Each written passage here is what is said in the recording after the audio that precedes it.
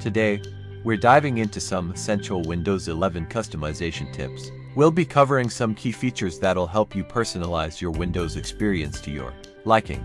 So, let's get started. First up, let's talk about dark mode.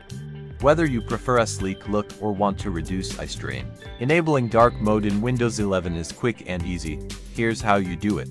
First, click on the Start button and select Settings which looks like a gear icon. Then in the Settings menu, navigate to Personalization on the left. Under Personalization, you will need to select Colors. Under the Choose Your Mode setting select Dark from the drop-down menu.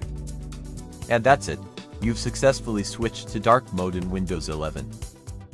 Now, let's talk about changing up your desktop with some personalized colors. Windows 11 allows you to customize your theme and accent colors to match your style. Here's how you can do it. In this same section, scroll down to the accent colors section and pick your desired accent color from the palette.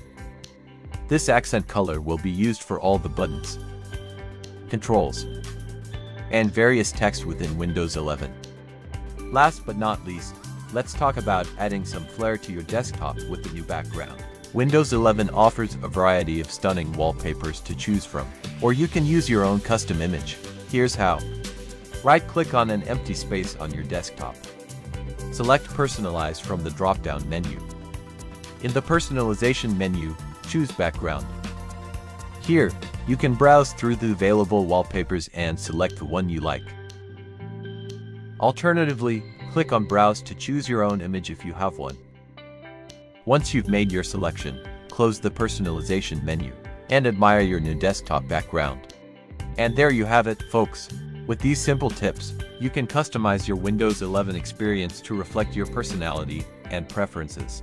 If you found this video helpful, don't forget to give it a thumbs up and subscribe to our channel for more tech tips. Thanks for watching, and we'll see you in the next one.